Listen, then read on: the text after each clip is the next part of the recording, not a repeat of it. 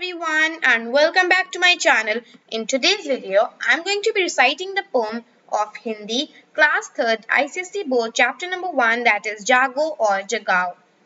And the book that I'm using is Hindi Utsav Pathmala by Cardova Publications, term 1. So now let's start with our poem recitation. जागो और जगाओ बीत चुकी आलस की घड़ियां जाग उठी अब सारी चिड़िया जागे फूल खिली अब कलियाँ। तुम भी जागो, आओ, जागो और जगाओ। जाग रहा है कोना कोना फिर अपना ये कैसा सोना?